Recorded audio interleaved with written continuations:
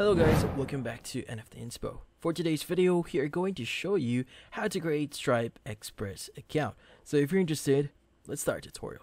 So the first thing that you need to do here is you need to have a Stripe account. In this case, go to their official website, which is going to be stripe.com. In this case, you need to first sign in or create your account. Now, if you don't have an account yet, you can go ahead and click on the sign up now at the bottom left of your screen.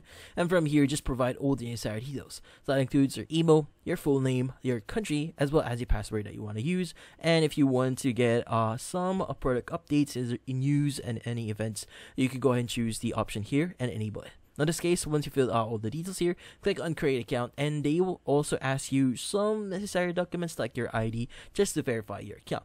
Now in this case, if you already have an account, we are now ready to basically have a Stripe Express account. Now in this case, you go and click on sign in here.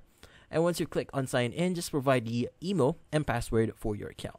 Now, once logged in into your account, what we need to do next is we need to access our settings. So at the top right of the screen, go ahead and click on the settings icon, click on settings there. And from here, what we need to do next is we need to access the discover more features option. Now from here, scroll down a bit here, look for connect, click on enable. Now once you've enabled this one, this will be able to uh, basically add it to your account. Let's go and click on get started with connect here. And from here, we need to go back into our settings. So at the top right of the screen, go ahead and click on settings again, click on settings, and from here, look for connect. So in this case, let's go ahead and click on it. Now on this page, what you need to do is just choose the option that says Express Dashboard here. Click on it, and from here, you can go and click on Customize.